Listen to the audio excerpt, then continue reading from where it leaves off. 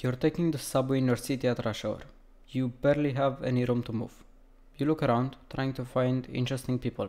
Instead, what you see is mostly middle aged people absorbed by their phone, slightly out of shape, with tired and depressed faces. You can't help but feel bad for them. In that moment, you promise yourself that you won't work a 9 to 5. You get home and try to think about what you want to do with your life. It's uncomfortable, and your mind keeps thinking about other things. Your Minecraft hardcore server, that Netflix series you've been watching, or your crush at school that you have been scared to ask out. Eventually, you give up and decide you should search the internet for answers. You stumble upon content from some guys with nice cars and lots of women, so you become interested. What they're saying is that you need to start a business in order to make money, which is your most important goal. Also, they tell you to be physically strong and not show any emotion, since that means you're not a man. You start by posting TikToks and YouTube shorts of motivational videos and try to build up audiences. It's going well, and you are also starting to build some muscle, making you prouder of your physique. The bad part is that you haven't taken care of your social media addiction, and you are seeing all of these people that are either more successful or more attractive than you, which brings down your self esteem you decide that just doing short videos isn't cutting it anymore, so you search for other business models. You find this thing called dropshipping and think it's the right one for you, so you decide to go all in this time. Again, the profit you are making isn't even enough to sustain your life, so you quit. Since you are putting a decent amount of time into these sort of things, you are failing out of school. You want to drop out, but the fact that your crush is there is holding you back. With that, you gather up the courage needed to ask her out on a date she rejects you. You get depressed and start blaming yourself for not being good enough. You then discover black pill content and decide that you've got bad genetics and you will never be able to get a girlfriend. You get expelled from high school and are now just living in your parents' house. You start skipping workouts, you start eating junk food again, and your addiction to the internet becomes even worse. Your parents fight because of your situation, they get divorced, your father leaves the country, and your mother kicks you out of the house at 18. With no high school or college degree, you go and work at the local McDonald's to make some money. Every day, you go back to your rented flat, which is an absolute mess.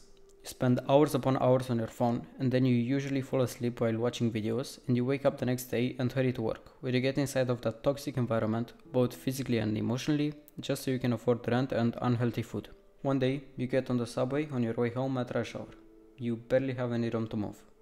You are absorbed by your phone, slightly out of shape, with a tired and depressed face. You blame women and the system that you live in for all of your problems. You decide you've had enough.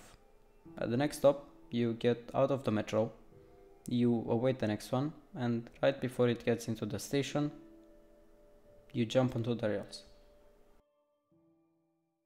The story that I told shows the dangers of the internet. You might say it's an exaggeration, and it probably is, but I think I needed to say it in this particular way in order to send my message straight. There are a lot of influencers online that preach the way to become successful. I agree with some of the things that they say, but the biggest mistake is that they show you another way, not your way. What do I mean by this? Let's take the example of hypothetical you from my story. What did the internet tell him? Make YouTube content, make TikTok videos, do dropshipping. These are some ways to make money, sure, but they are far from the only ones and are also very unlikely to be what this imaginary you would like. These men know that teens are struggling and they take advantage of them emotionally in order to make profit, some consciously and some victims of the very trap they laid out. Again, the biggest issue with this is that there isn't an alternative for young men and they blindly trust anything they watch on the internet. Going back to the story I told, what do you think was the biggest mistake of our character? Not working out anymore? No. Stopping doing dropshipping? No. Asking his crush out? Certainly not. What I try to highlight as the cause of all of this is found in this section. You get home and try to think about what you want to do with your life. It's uncomfortable and your mind keeps thinking about other things. Your Minecraft hardcore server, that Netflix series you've been watching, or your crush at school that you have been scared to ask out. Eventually, you give up and decide you should search the internet for answers you should search the internet for answers. The internet is the last place that you should search for answers, unless you are so aware that you are questioning every piece of information that you are hearing. I'm going to assume you aren't at that stage yet, so I'll give you some advice. It would be hypocritical of me to say that this is mandatory, so do it only if you wish. I think that the best place to search for answers is yourself. What I believe you should do is learn how to spend time with yourself. Be able to sit in silence with your thoughts or without them and just live. Be happy that you are living attempt to avoid the internet as much as you can, as it usually makes you angry about things that are completely irrelevant to your own life. You control all of the answers to the biggest questions you pose. You just have to look for them. If you follow the genuine desires of yourself, I think that will lead you to the best life you can live.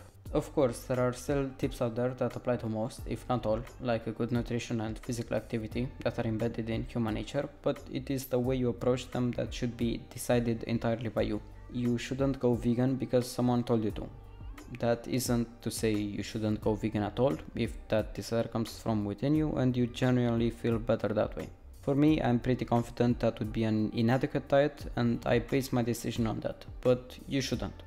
I've received compliments from people on my physique and discipline, and some have even asked me for advice in all sorts of different areas. I always start my answer with, This is just what I found works for me at this time. You should experiment and find what's best for you. I then describe a framework of what I do in order to achieve good results in whatever area they're asking about. The best way to experiment that I found for myself is journaling. I go more in depth on this in this video about optimism, so you can check it out later if you wish. The beautiful thing about journaling is that it is what works for me right now and you shouldn't blindly trust it is the best thing for you.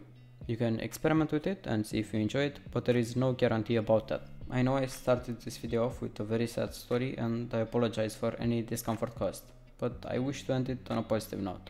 While writing the script for this video, I realized just how beautiful human diversity is. It is coded within our DNA. We don't need to enforce it, it just comes naturally as long as we stay true to ourselves. I hope the story from the beginning of the video has a lasting impact on you and determines a change in your life in case you are going down the wrong path. If you are ever struggling, don't be hesitant to ask for help. It's your life, but you're not living it on your own. If others need help, don't be hesitant to give it either. Good is in you and in every single one of us. I truly and deeply wish you the best. The only algorithm you should allow to influence your life is your own. Find your way.